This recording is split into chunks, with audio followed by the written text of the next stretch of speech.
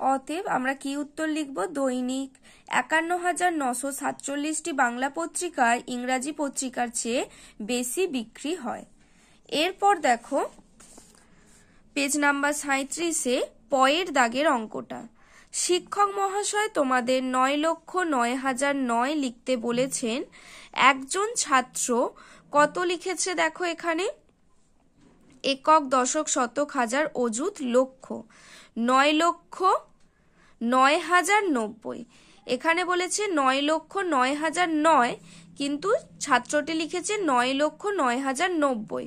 তাহলে কি হয়েছে? ছাত্রটি বেশি লিখেছে, এবার কত বেশি লিখেছে? করতে গেলে কি করতে হবে? আমাদের বিয়োগ করতে হবে।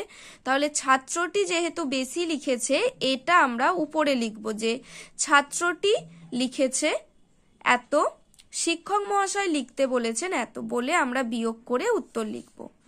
এরপর দেখো ফয়ের অঙ্কটা। এই অঙ্কটা তোমরা নিজেরা পড়ে করবে।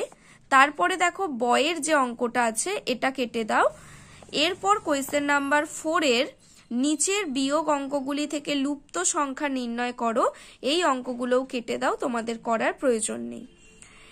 যে তিনটি অঙ্ক আমি তোমাদের বললাম, এই তিনটি অঙ্ক তোমরা করবে। যদি তোমাদের বুঝতে অসুবিধা হয়, অবশ্যই আমার সাথে যোগাযোগ করবে। Good bye everyone